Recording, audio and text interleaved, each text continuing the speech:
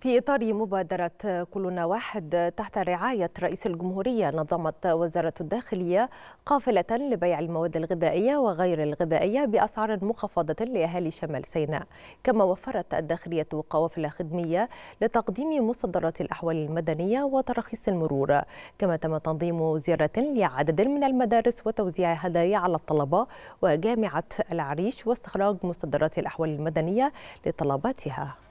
مفيش أرض فيك يا مصر حد يقدر أبدا بفضل الله سبحانه وتعالى ياخدها مننا أو يسيطر عليها. محدش يقدر. سيناء البقعة الغالية على كل مصري التي تعطرت بخطى الأنبياء وارتوت بدماء الشهداء. تتصدر المشهد التنموي بعد أن أعطى رئيس الجمهورية إشارة البدء لتنميتها. تشارك وزارة الداخلية بقوافل محملة بالسلع الغذائية وأخرى خدمية جهزتها لأهالي شمال سيناء في إطار مبادرة كلنا واحد برعاية رئيس الجمهورية. انطلقت قوافل الخير هذه عابرة أنفاق قناة السويس إلى أرض سيناء الغالية.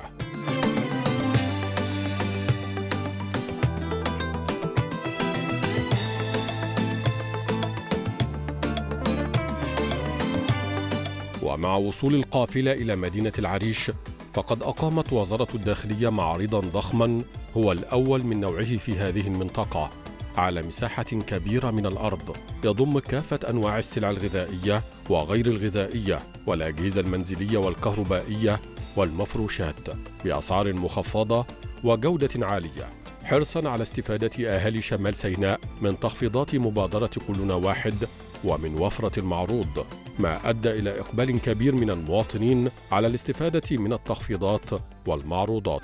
الله الله المصريين لما يحبوها بجد بتلاقي عزيمة وتضحية أبطال وبتوفي الوعد.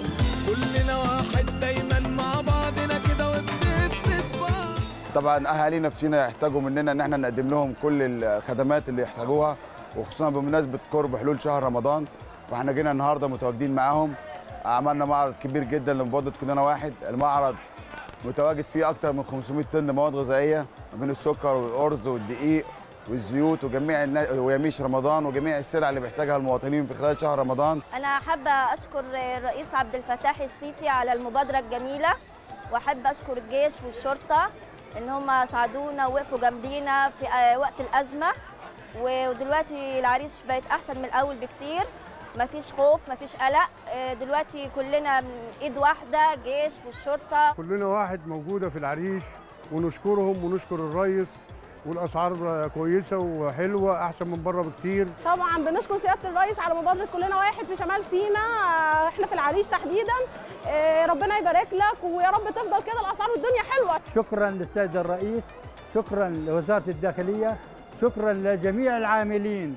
في هذا الصرع العظيم. منافذ أمان آه، خدمت آه، شمال سيناء تمام باقل الاسعار ومنافذ جميلة وبأسعار كويسة جدا جدا جدا. تضم القافلة سيارات الخدمات الشرطية المتنوعة لإتاحة الفرصة لسكان أهالي شمال سيناء لاستخراج الأوراق الثبوتية وتراخيص السيارات. أنا اتفاجأت والله بيها النهارده وانبسطت جدا أول ما شفت العربية ديت إن هي دي بقى متنقلة في كل مكان ودي هتسهل على ناس كتير. لم تقتصر القوافل الخدمية والغذائية على العريش بل امتدت إلى عدد من مدن شمال سيناء. الشيخ زويد من المدن التي توجهت إليها القوافل الهدوء يعم هذه المدينة ويتحرك الجميع بحرية وأمان. جيت النهارده علشان خاطر أعمل بطاقة عائلية والتسهيلات حلوة والحمد لله والشرطة معانا وخدمتنا بالنسبة للتصوير السريع والبطاقه الفورية. الشيخ زويد جاية عشان أعمل بطاقة عائلية. شكرا لوزارة الداخلية اللي جاية لينا من العريش علشان تساعدنا في الو- الورق. الحمد لله الوضع عندنا في الشيخ زويد والعريش الحمد لله 100% وبنقدر الحين ننزل نرخص عربيتنا براحتنا وبننزل ال- السجل المدني وبنعمل بطاقات وشهادات الميلاد. نشكر سيادة الرئيس ألف ألف ألف شكرا. شكر واصل من شعب سينا للرئيس.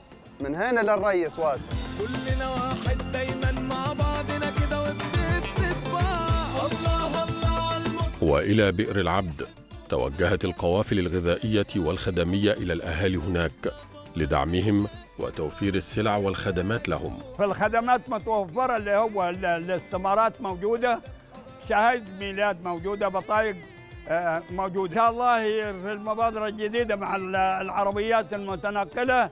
هيبقى في خفة عمل. وزارة الداخلية وفر لنا خدمات آه، المرور الإلكترونية دي حاجة والله كويسة جدا. عندنا متنقلة في كل مكان بتوفر علينا حاجات كتير. في فرق شاسع من هنا من سنتين فاتوا لحد النهارده.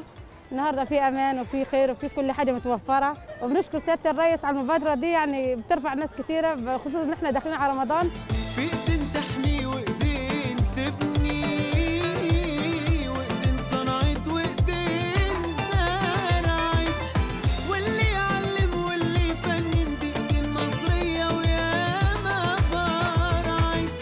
تضمنت القوافل زيارة قام بها الضباط لعدد من المدارس حيث تم توزيع هدايا على طلبتها أثناء سير العملية التعليمية.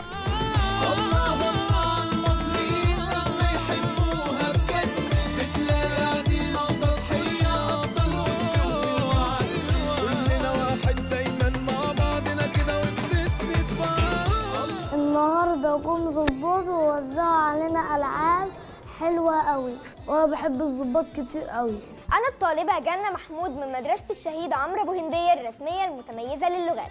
النهاردة هتكلم عن الأمان في شمال سيناء. طبعا إحنا عندنا هنا في شمال سيناء أمان من كل حتة. زمان ما كانش في عندنا أمان وكان في عندنا ضرب نار وكان في عندنا حاجات مش كويسة. أما دلوقتي بقينا نحس بالأمان في كل مكان. كنا بنيجي ما فيش طلبة ط- اتنين تلاتة أربعة و... واهاليهم بيبقوا خايفين عليهم مستنيينهم. لا الوضع دلوقتي يختلف آه، تماما. دلوقتي كل الطلبة بتنتظم في الدراسة. ماما وبابا بيأمنوني عشان دلوقتي بقى خلاص في أمان. بقيت أنزل أشتري أي حاجة لوحدي. بقيت دلوقتي أروح المدرسة لوحدي. فبقى دلوقتي الحمد لله في أمان في العريش. بنعرف أطفالنا إنه يعني إيه الشهيد؟ يعني إيه التضحية اللي هو عملها؟ بنعرفهم بأسمائهم كمان علشان مدار حياتهم يبقوا ذاكرين آه، فضلهم على البلد وعلى الأمان اللي هم حاسين بيه دلوقتي كأطفال وليهم بعد كده في المستقبل بإذن الله. في تضحيات تمت من الدولة في تضحيات تمت من الشعب في تضحيات تمت من الجميع عشان كله بيحب الوطن. مصر كل زجاج وحاره فيها عاش كل واحد عاش محمد وهي جرجس وهي سارة. مصر هي البوصلة دايما اللي بتحدد مسارك. خلي بالك خلي بالك مصر لسه محتاجالك يا بلادي روحي فداليكي أقدم حضارات كانت فيك كما توجهت القوافل إلى جامعة العريش لاستخراج مصدرات قطاع الأحوال المدنية للطلبة.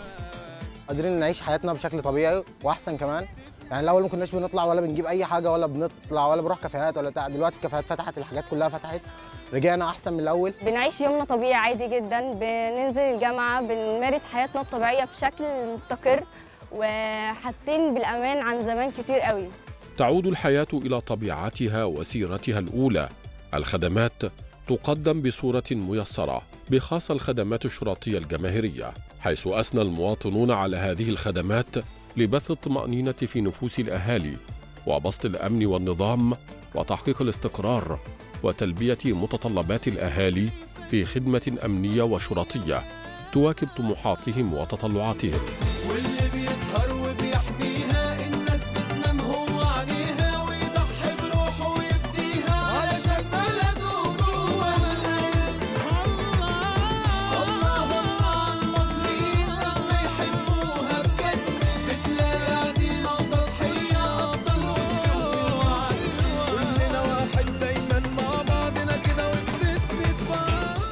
تغيرت الحياة على أرض شمال سيناء وعادت لطبيعتها وسط أمن وأمان وقوافل الخير التي تعم الشمال. وهذا المعرض الكبير الذي يؤكد لأهالي شمال سيناء أن كلنا واحد.